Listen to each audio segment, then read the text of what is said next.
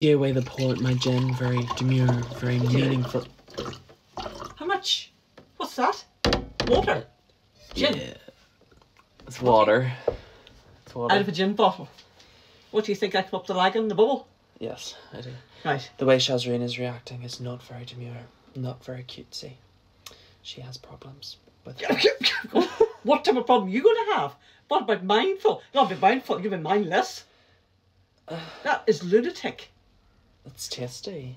It's going to kill you. It's been a long day, sure. You have, gonna- have to look after that it's going to be a very long hangover. It won't be. It'll probably take a week. anyway, how can you be drinking on a school night?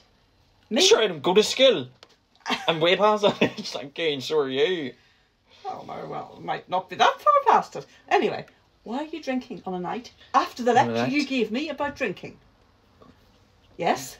You told me off for drinking because you said it was bad for my liver. It What's is. that to your liver? I don't know. It's water. Yeah, right. Definitely not water.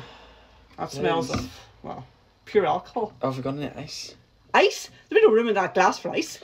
Well, you can't expect me to raw dog it, surely. You're not going to. Put it back in the bottle. Save it. That's at least a week's.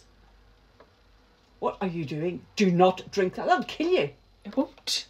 Tell you, it will kill you. It will ki- rot your liver. Okay, you have some. Of. What would I drink that stuff for? I'm better off a toilet cleaner. Mother's ruin, isn't it? That's going to kill you. me. It's making your eyes stand then. Oh, sure, I haven't had any tonic.